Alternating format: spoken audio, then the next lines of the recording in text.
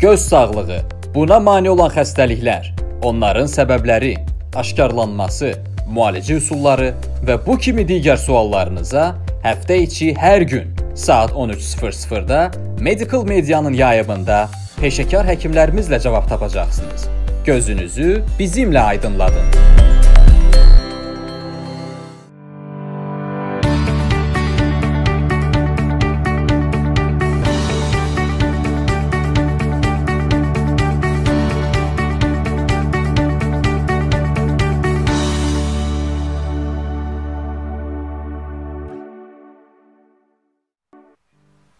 Gözünüz aydın.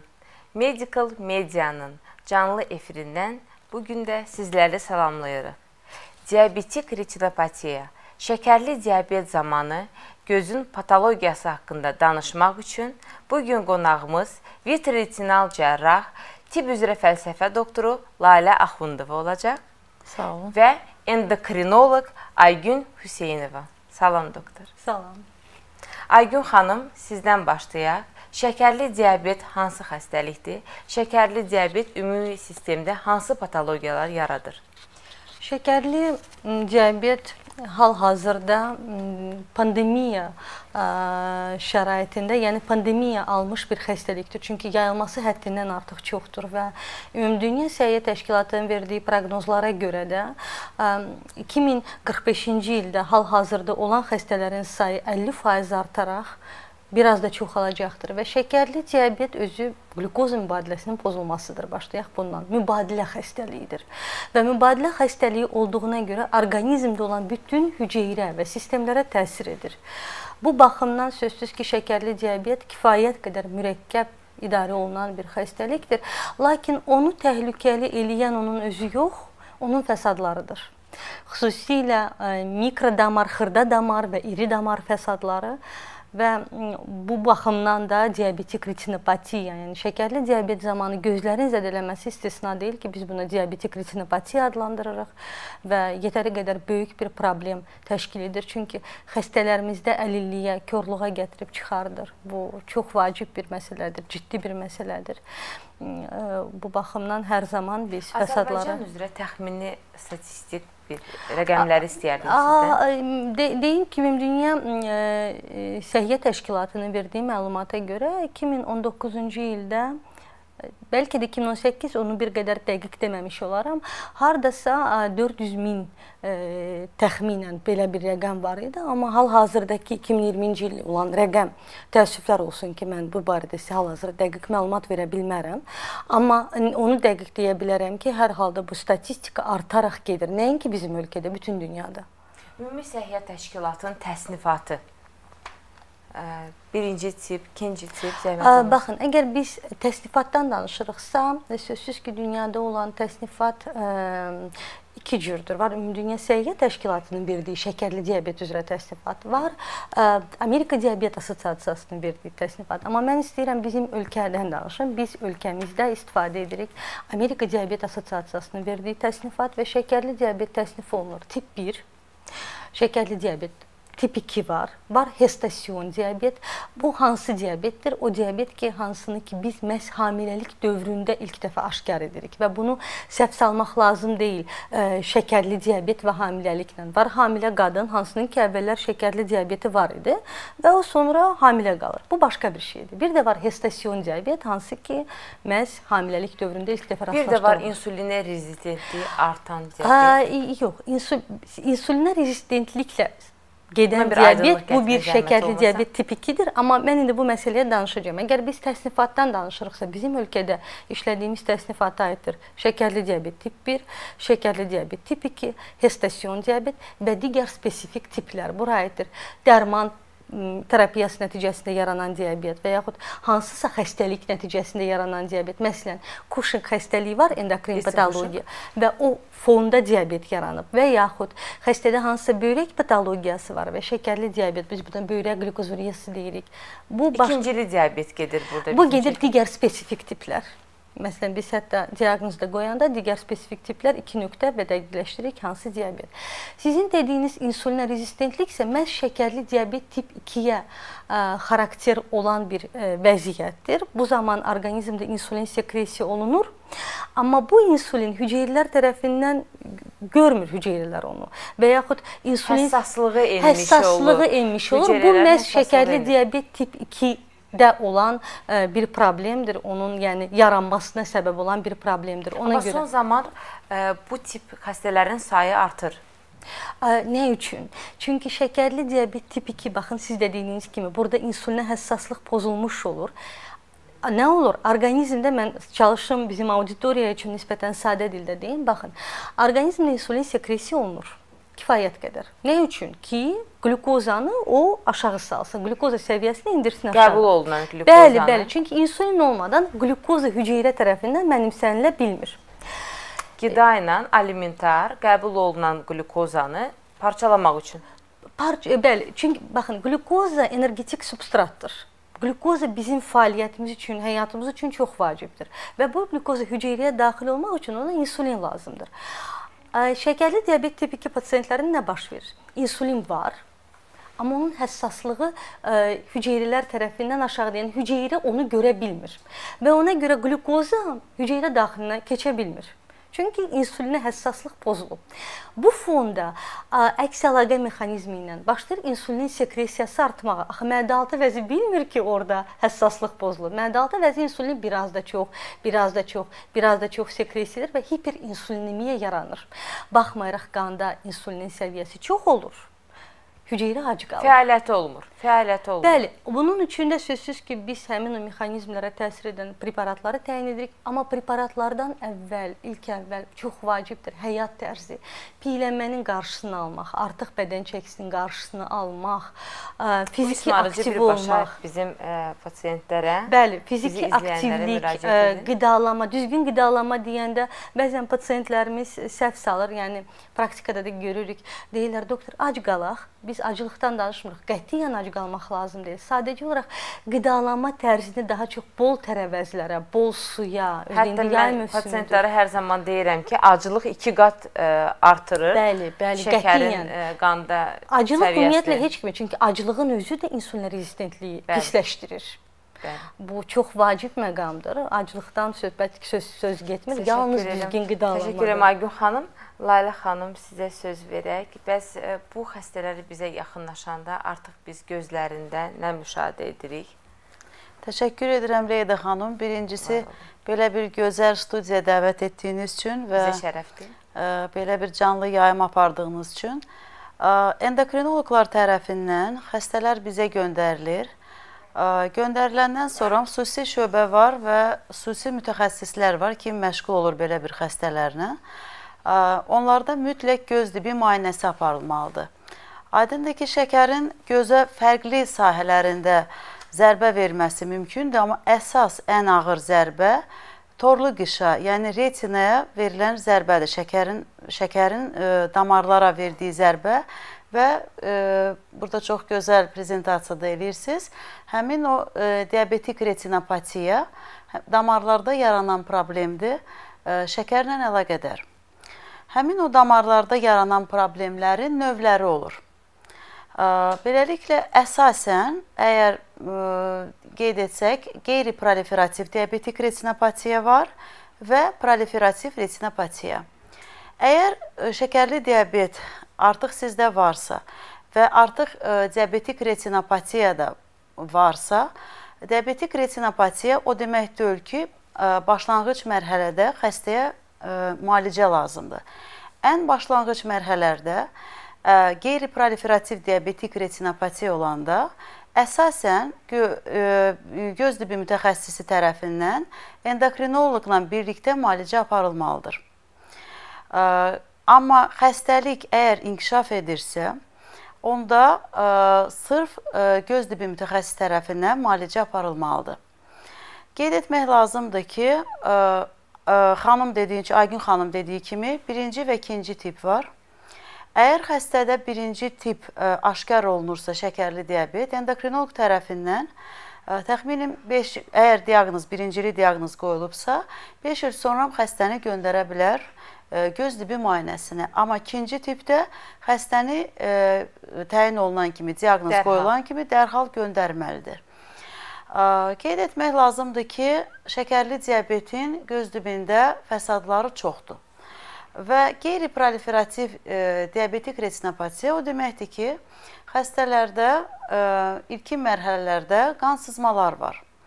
Amma e, ilkin mərhələdə belə bir qan sızmaların əgər düzgün e, endokrinoloq tərəfindən və xəstə kifayət qədər ciddi yanaşsa bu məsələyə, həmin o qan sızmalarda, həmin o diabetik retinopatiya da daha ağır mərhələyə inkişaf etməyəcəkdir.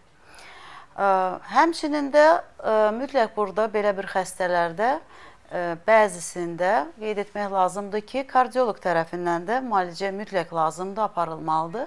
Çünki diabetik xəstələrin çox vaxtı gipertoniya, əsasən yaşlı insanlarda gipertoniya xəstəliyi əlbir, yəni yanaşı daimi gedirlər. Bir-birinin klinikasında ağırlaşmış oldu.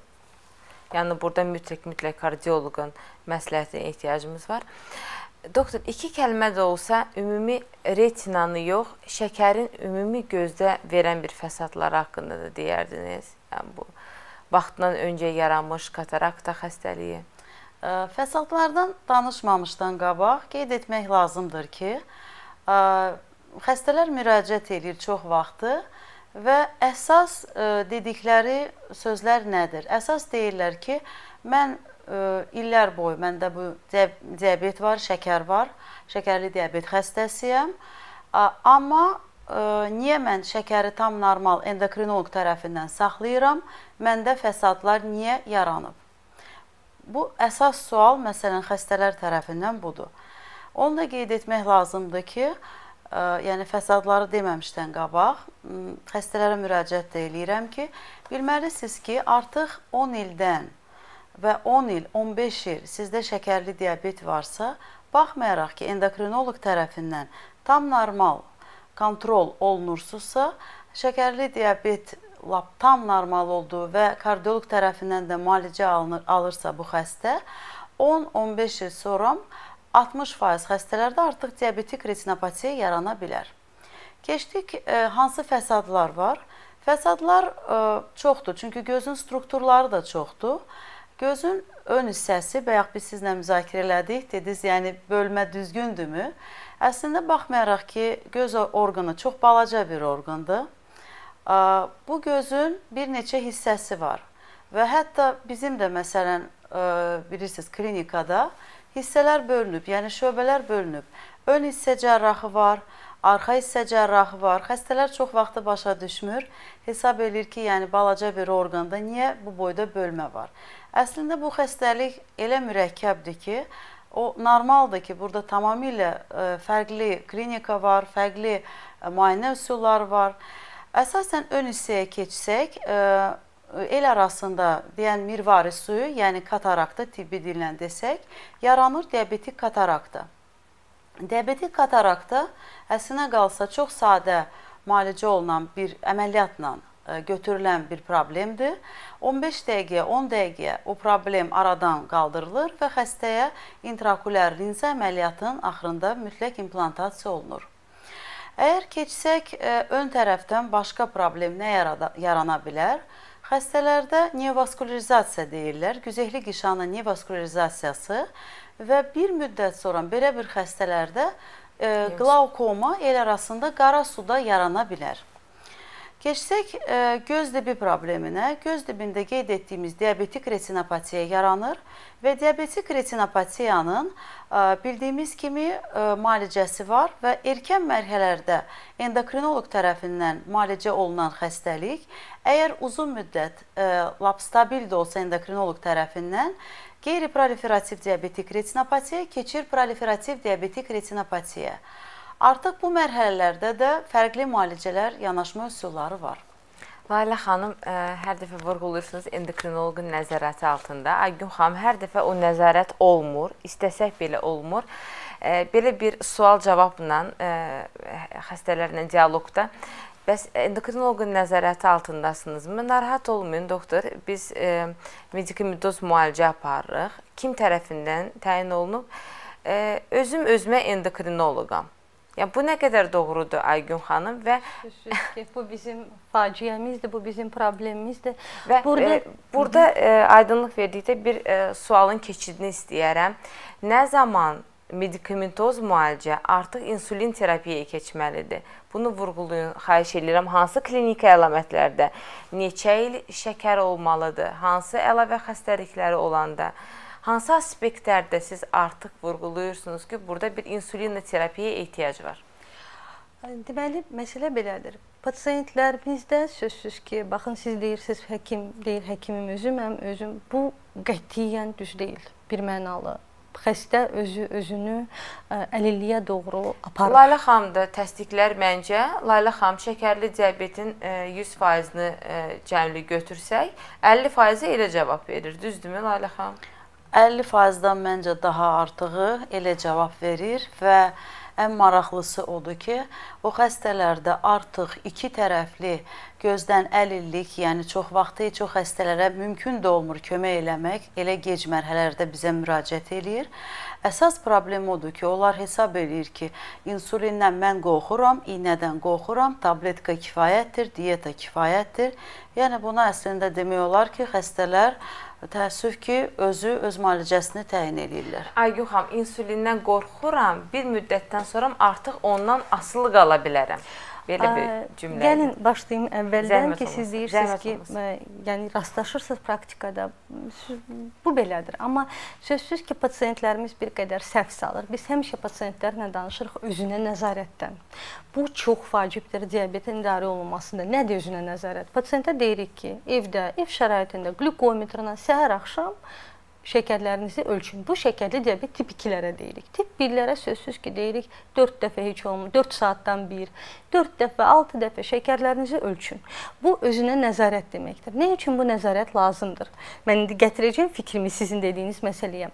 Bu nəzarət onun üçündür ki, pasiyent öz şəkərlərini ev şəraitində qlükometrlə ölçür, bir bloknotamı, dəftərəmi harasa yazır, cavab Cavabı olaraq qeyd edir. qeyd edir. Və əgər ə, və o rəqəmləri gördükcə, axı o gündəlikdə tək o rəqəmləri qeyd etmir, o qeyd edir nə yedim, nə qədər oldu. Yeməkdən əvvəl bu qədər idi, yeməkdən 2 saat sonra bu qədər oldu. Sözsüz ki, tip 2-lər gündə 2 dəfə ölçür, tip 1 pasiyentlərimiz bir qədər çox. Ölçüb sizə mi göndərirlər? Orxan? Bizə göndərirlər. Cavan pasiyentlər üstünlük verir, dərhal müxtəlif e, telefon tətbiqləri ilə bizə göndərirlər və dərhal əlaqə yaradırıq. Deyirik nə var, nə yox. Elə pasiyentlərimiz var ki, artıq özləri zəng vurub deyirlər ki, doktor, mən filan şey yedim və şəkərim belə oldu və yaxud mən bunu etdim, şəkərim düşdü və yaxud qalxdı və s. Bu özünə nəzarətdir. Təəssüflər olsun ki, pasiyentlərimizin əksəriyyəti özünə nəzarət sözünü e, düz qiymətləndirmirlər və onlara gəlir ki, özünə nəzarət dedikdə onlar özləri öz dərmanlarını kəsə bilərlər, dayandıra bilərlər, Mü- ə, başqası ilə əvəz eləyə bilərlər və yaxud insul insulini dayandırıb nəyəsə keçə bilərlər.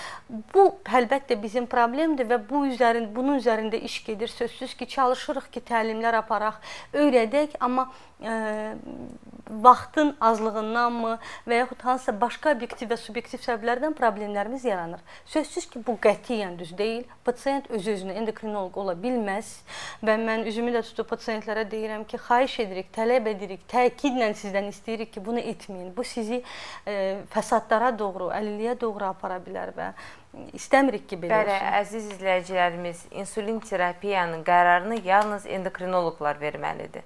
Nəyə sökənib bunu edirsiniz, doktor? İnsulin terapiya qərarına gəldikdə isə baxın, bizim bir qızıl qaydamız var, hansını ki biz tövsiyələrdən deyirik. Biz həmişə şəkəri nəzarət edəndə xəstəxana şəraitində baxırıq aclıq qlükozasına, glikogemoglobininə və oral qlükoza tolerant test. Aclıq qlükozası aydındır. Bu qanda venoz qandan götürülmüş bir qlükozadır, şəkərin miqdarı. Glikogemoglobin nədir? Və pasiyentlərimizdə biz 3 aydan bir və yaxud 6 aydan bir individual olaraq yoxlayırıq. Glikogemoglobin son 3 ayda pasiyentdə ümumi şəkərlərin orta bir riyazi rəqəmidir. O bizə ə, çox hallarda, 100% hallarda da olmasa, çox hallarda bir ətraflı bir məlumat verir ki, pasientin diabeti nə yerdədir?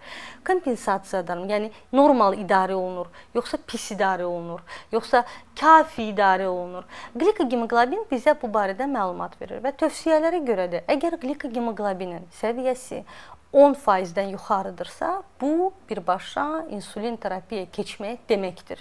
Yəni biz keçirtməliyik. Amma təbabət dəqiq elm deyil və burada həmişə istisnalar var. İstisnalarımız nədir?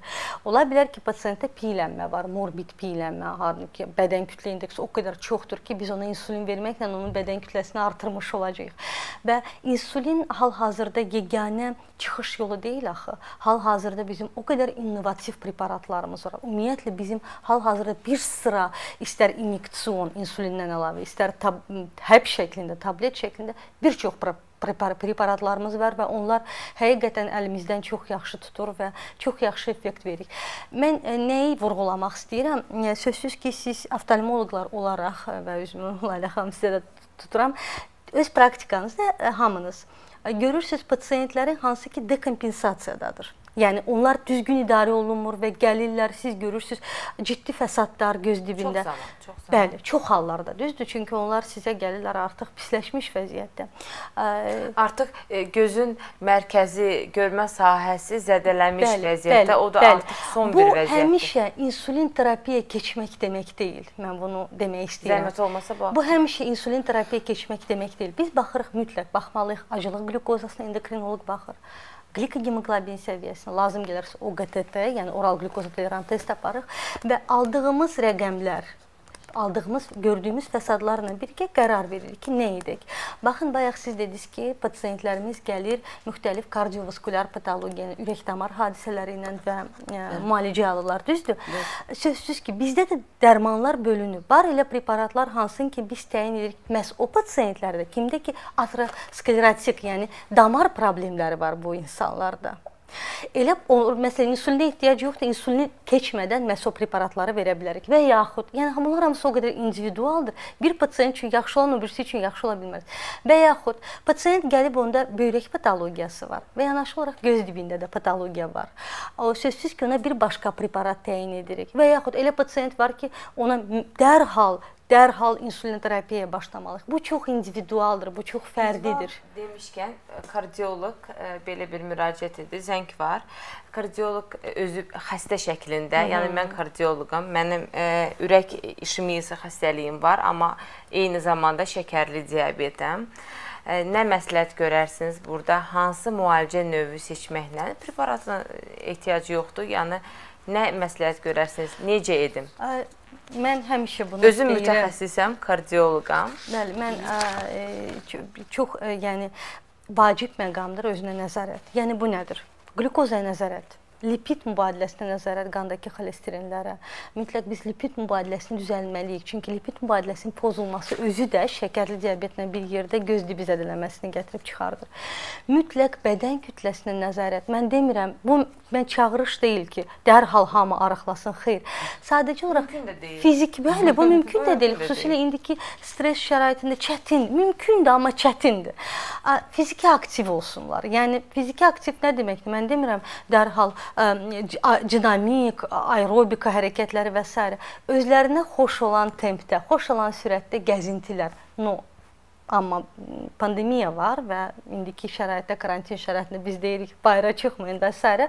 ev şəraitində gəzişmək olar və yaxud hansısa yüngül idman hərəkətləri Bəli. etmək olar. Bu çox vacibdir. Biz bütün müalicəni bundan başlayırıq. Yanaşı olaraq sözsüz ki, ə, əgər orada baxmaq lazımdır ə, glikogemoqlobin səviyyəsinə, əgər glikogemoqlobin səviyyəsi 8-dirmi, 7-dirmi və yaxud 9-durmu, ona uyğun kombinə olunmuş hansısa ikili, üçlü terapiya vermək olar. İndividualdır. Hal-hazırda pandemiya şəraitində müraciət edilibsə bu suala, biz belə bir çili körpü yaradaraq məsləhətimizi buradan verməliyik.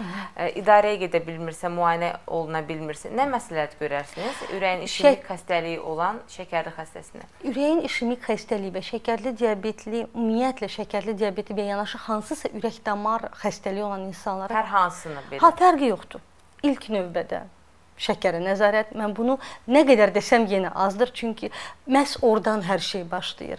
Şəkərə nəzarət e, tip 1 pasiyentləri 4 saatdan bir, 6 saatdan bir, tip 2 pasiyentləri heç olmasa 2 dəfə səhər axşam mütləq arterial təzyiqə nəzarət evdə özləri öz təzyiqlərini ölçməlidirlər və çox vacib məqamlardan bir neçə biridir. Dəfə, gün ərzində bizim, bir bizim dəfə. pasientlərimizdə bir məsələdə də var. Bunu həm biz görürük, həm kardioloqlar indi bilmirəm sizin praktikada olur ya yox, yəqin ki olur. Məsələn bizdə belə bir problem var. Pasiyentdən bir qədər ətraflı soruşanda məlum olur ki, şəkəri yaxşı olub həmin günü və belə qərara gəlib ki, dərmanı içməsin. Və yaxud təzyiqi yaxşı olub həmin gün. Pasiyent ə, arterial hipertenziyadan əziyyət çəkən adamdır, qan təzyiqindən əziyyət çəkən adamdır və qərara gəlib ki, dərmanı içməsin. Bunu qətiyyən etmək olmaz. Ə, mütləq dərmanları vaxtı-vaxtında həkimin həkimlə telefon əlaqəsi yaradaraq bunları içmək lazımdır. Bu çox vacibdir və e, yenə də nəzarət, nəzarət, pəncəyə nəzarət, təzyiqə nəzarət, şəkərə nəzarət, e, düzgün qidalanma, e, bu əsəbləşməsinlər. Ə, əsəbləşmək bilirsiniz, çox çətindir indiki şəraitdə pasiyentə bu tövsiyəni vermək, çünki ə, Amma yenə də biz verməliyik. veririk, veririk, Verməliyik. amma ə, bir qədər stress axı indi yoluxmaq qorxusu da var. COVID-19-a. Üstəlik ə, müxtəlif hamımızın bütün insanların dünyada həyatı müəyyən bu və ya digər dərəcədə stresslə bağlıdır. Biz bundan sığortalı deyilik. Layla xanım, ə, Mən əlavə etmək istəyərdim ki, ən birincisi xəstələrə müraciət edərkən istəyir siz endokrinoloqlar, istəyir biz, ən birinci söz biz deməliyik ki, bu xəstəlik xroniki xəstədir. Yəni bu xəstəliyin müalicəsi tam yoxdur. Yəni ən birinci söz o deyilməlidir. O xəstələr gəlib dərk etməlidirlər ki, ömrü boyu müalicə olmalıdırlar endokrinoloq tərəfindən. Daimi oftalmoloq tərəfindən artıq diabetik retinopatiya bildiyiniz kimi başlayıbsa, e, ömrünün axırınacan bu insan gəlməlidir və e, göz tibi mütəxəssis tərəfindən daimi baxışlar Nəzarət aparılmalıdır. Əlavə ə, şikayətlər yaranıbsa, əlavə müalicəyə ehtiyac var. Yəni ən birincili izahat məncə olmalıdır ki, bu xəstəyə Yəni darıxma bu xəstəlik xroniki xəstədir. Şikayətlərin yarandıqca bunun qarşısını vaxtında almaq olar, əgər gecikməsən və mütləq endokrinoloq tərəfindən müalicə aparılmalıdır. Və ə, qeyd etmək bir də istəyirəm ki, Covid dövründə bəlkə endokrinoloq tərəfindən həqiqətən SMS-lə, yəni hər hansı bir vasitə ilə ə, müali- müayinə aparıla bilər, yəni ə, xəstə ölçə bilər şəkərini, həkimlə əlaqə saxlaya bilər, təyinatını dəyişə bilər. Amma ə, göz tibi elə bir patologiyadır ki, mütləq ə, xəstə özü gəlməlidir, sırf özü iştirak eləməlidir. Xüsusi bilirsiniz bizdə aparatlar var və onu mütləq yoxlamaq lazımdır. Yəni sırf ə, bizdə həkim xəstə daimi təmasda olmalıdır. Yəni bizdə sırf SMS-lə xəstələr gələ COVID dövründə bizə müraciət eləsin. Proliferativ ə, diabetik retinopatiya haqqında başlamışıq danışmağa. Layla xanım, Bəli. bu haqqda daha ətraflı xəstələrimizə informasiya verə- verək. Baxın, qeyd etdiyim kimi, diabetik retinopatiyanın qeyri-proliferativ, yəni artıq qeyri-proliferativ o deməkdir ki, o fəsadları sırf endokrinoloq tərəfindən ə, saxlamaq yerində olar və ya ə, reqressiya eləmək olar. Sırf endokrinoloq tərəfindən müalicə aparılıbsa, amma o şərtlə ki, şəkərli diabet sizdə uzun il yoxdur. Yəni əgər tutaq ki 10 il, 15 ildən artıq bu problem varsa, onda böyük ehtimalla qeyri-proliferativ diabetik retinopatiya bir müddət sonra proliferativ diabetik retinopatiyaya çevrilə bilər. Proliferativ diabetik retinopatiya o deməkdir ki, artıq ə, sizə müalicə lazımdır göz tibi mütəxəssisi tərəfindən. Yəni proliferativ ə, retinopatiyanın fərqli növləri var. Ən əsas qeyd etmək lazımdır ki, ə, gördüyünüz o retinada, torlu qişada ə, bir neçə sahədə ya bir sahədə neovaskulirizasiya deyilən toxuma var. Yəni o nə deməkdir? O deməkdir ki, uzun müddət işemiya nəticəsində sırf o şəkərə görə ə, işemik faktorlar yaranır və onun nəticəsində orqanizm ə, elə bil bədən özü orqanizm yaradır neovaskulyar, yəni yeni toxumalar. Yeni toxumaların strukturu elədir ki, onlar zəifdir, yəni o yeni damarlar və hər bir an həmin o damar partlayıb tamamilə qanaxma verə bilər, torlu qışanın qopması yarana bilər həmin xəstələrdə, yəni korluqla qutara bilər. Ona görə proliferativ diabetik retinopatiya artıq diaqnozu qoyulubsa həkim tərəfindən, yəni göz tibi mütəxəssisi tərəfindən sırf o xəstəyə gələk müalicə başlansın. Müalicənin indiki müasir dövrdə bildiyiniz kimi bir neçə növləri var. Müalicənin ə, əsas növü bu saat anti-VEGF preparatlarıdır. Yəni həmin o işemik faktorları torlu qişadan götürür, şəvari cisimdən götürür və proliferativ diabetik retinopatiyanı ə, e, elə bir biz çalışırıq həmin o dərmanları, müasir dərmanların vasitəsilə yerində saxlamaq. Əgər iynə vuruldusa, xəstədə mütləq ən qızıl standart indiki dövrdə yenə də qalıb lazer koagulyasiya. Lazer koagulyasiya o deməkdir ki, yəni həmin o işemiya olan o sahələr ki, xəstənin retinasında, torlu qişasında yaranıb, həmin sahələri lazer koagulyasiya ilə yandırırıq və çalışırıq ki, işemik faktorlar azalsın, neovaskulirizasiya xəstənin gözündən yeni damarlar getsin, amma yenə də Bəzi xəstələr elə olur ki, baxmayaraq ki, bu müalicə aparılır, yenə də rezistent qalır. Yəni bu müalicəyə kifayət olmur. Həmin xəstələrə onda lazımdır mütləq vitrektomiya, yəni göz dibi vitreretinolog tərəfindən cərrahi əməliyyatın aparılması. Doktor, o mərhələyə çatmadan damarın endotel böyümə faktoru dediyimiz kimi bu böyücümat nəslindən avastin yəni adını çəkim ki, xəstələrə daha aydın olsun. Belə bir suallar verirlər ki, nə qədər müddətdir onun təsiri, e, bir insana nə qədər vurula bilər? Bəzən xəstələr təngə gəlib, hətta doktor 10 dəfə artıq mənə bu vurulubdu. Onun izahatını xəstələrə verməyinizi istəyərdim. Məncə onun izahatını e, bizim həkimlər arasında e, çox yaxın bir dostum, bildiyiniz cərrah var həmin cərrahın çox gözəl izahatı var idi xəstələrə ki, bu peyvənddir. Mən bu həkimlə tamamilə razıyam. Həqiqətən, yəni birincilik xəstə gələndə biz deməliyik ki, bu xəstəlik sizdə artıq xroniki xəstədir. İkincilik, xəstə izahat verilməlidir ki, bu peyvənd kimi daimi sizə vurulmalıdır. Necə siz şəkərə qarşı, məsələn, şəkər müalicəsi ömrü, ömrü boyu, düzdürmü, o müalicə aparılmalıdır, ömrünün axırınacan ehtimal azdır ki, siz birdən diyetaya keçəsiniz, məsələn, insulindən sonra. Yəni ömrün axırınacan bu xəstəyə ömürlük olanlar, ömürlük, əgər əməliyyat aparılmırsa bu xəstədə ömrünün axırınacan Bu xəstədə ola bilər, yəni o da əməliyyat faktorudur, o pankreas əməliyyatları. Bəli, bəli, metabolik cərrahiyyə də həmişə o da, çıxış yolu hə, deyil. O da həmişə, həmişə çıxış yolu olmadığına görə yüngülləşdirə bilər və yaxud bəzi hallarda remissiya verə bilər, amma bu 100%lıq hə. nəticə deyil. Bu deməkdir ki, xəstəlik xroniki xəstəlikdir və xroniki xəstəlik olduğuna görə bu anti-VEGF, yəni bu iynə preparatları ömrü boyu onlara lazım ola bilər. Ədəbiyyata görə, yəni belə bir tədqiqatlar da var ki, xəstəni sırf antivecef preparatlarında saxlamaq, yoxsa lazer koagulyasiya eləmək. Yəni tam dünyada da tədqiqatların sayı düzdür, çoxdur. Amma deyim ki, tam belə nəticələr alınıb ki, sırf lazer koagulyasiya lazımdır ya o antivecef preparatı yox. Amma hesab eləyirəm ki, ən düzgün cavab xəstəyə olar ki, yəni bu iynə sizə ömrü boyu lazım olacaqdır. Ola bilər, orta məxrəc əgər götürsək, ildə bəlkə 6 iynəyə ya elə xəstələr var ki, bəlkə 12 iynə ehtiyacı olur, məsələn 1 il, 2 il ərzində və sonra daha məsələn lazer koagulyasiya aparandan sonra daha sakitləşəndə proses həmin xəstələrə ümumi götürsək, e, əgər proses stabilləşməyibsə elə olur ki, e, ildə 3 iynə ya 4 iynə ehtiyac ola bilər.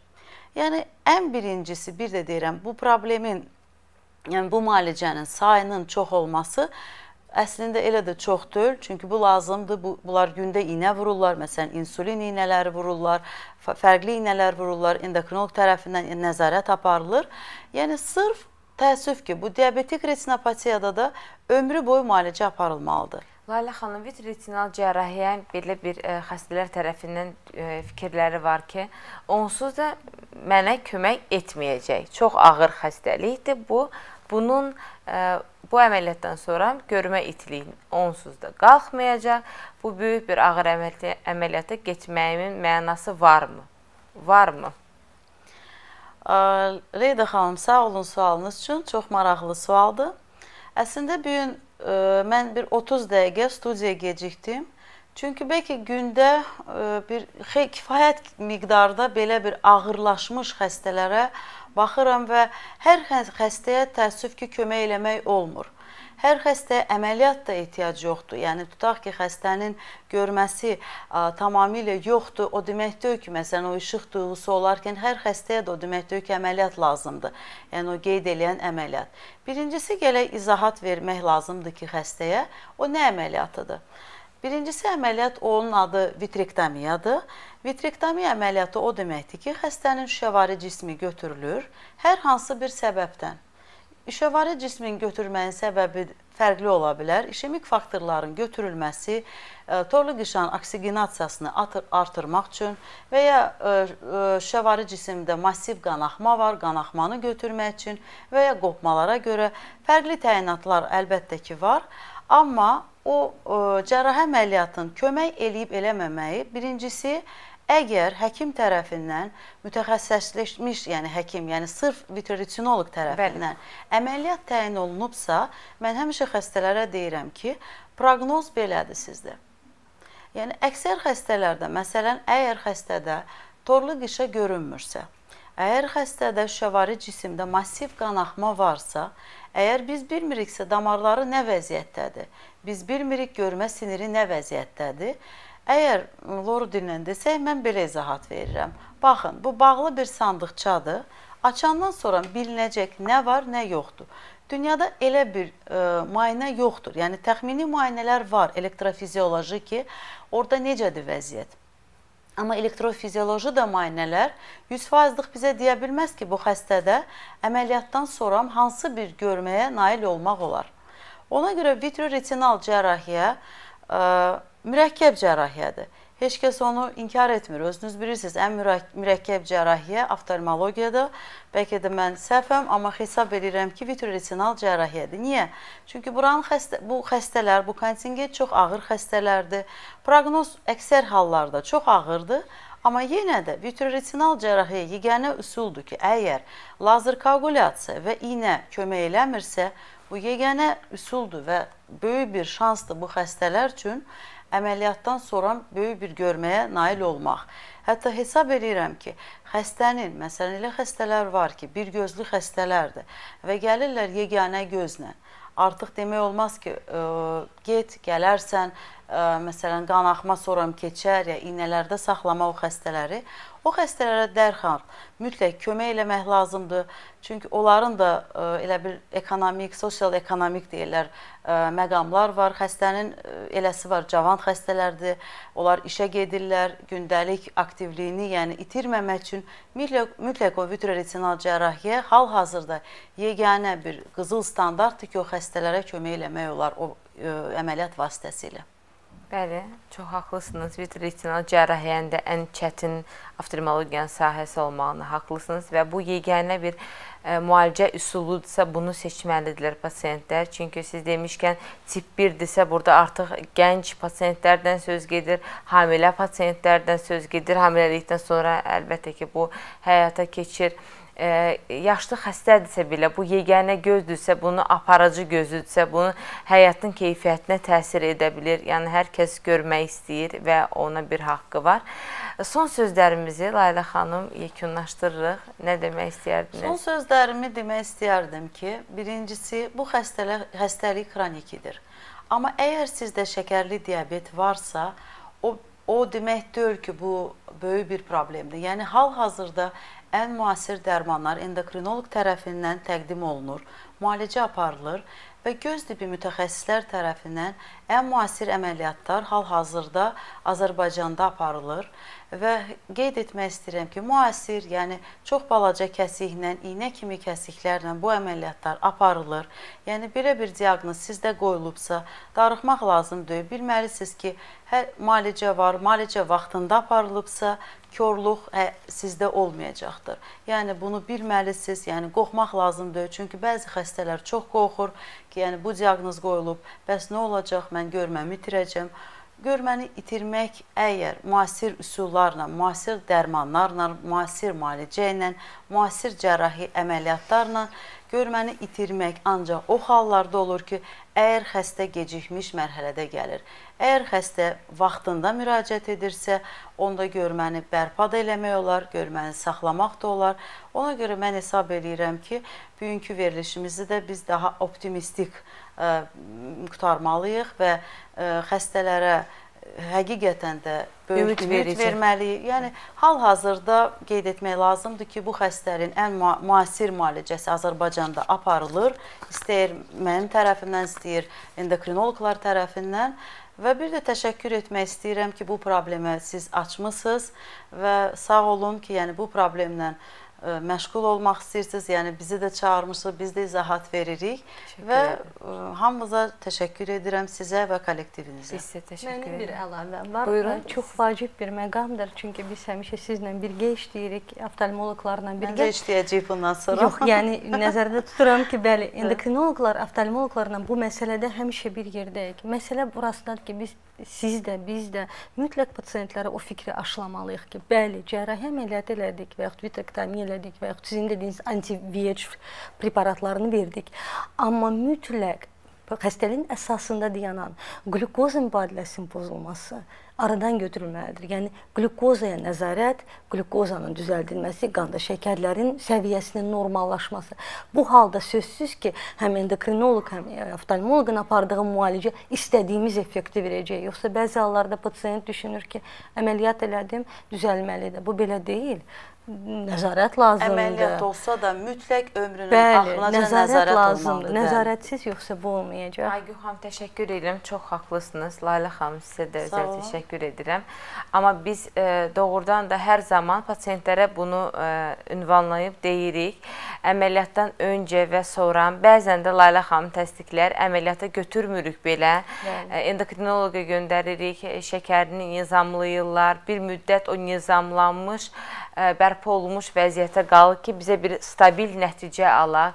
Bəzən əməliyyatdan sonra əməliyyat gözəl alındı, amma görmə keyfiyyəti istədiyim qədər deyil. O da şəkərin nizamlı olmamağından birmənalı. Ona görə çox haqlısınız və biz bu protokollara uyğun çalışırıq, riayət eləyək protokollara ki, nəticəni istədiyimiz nəticəni alaq.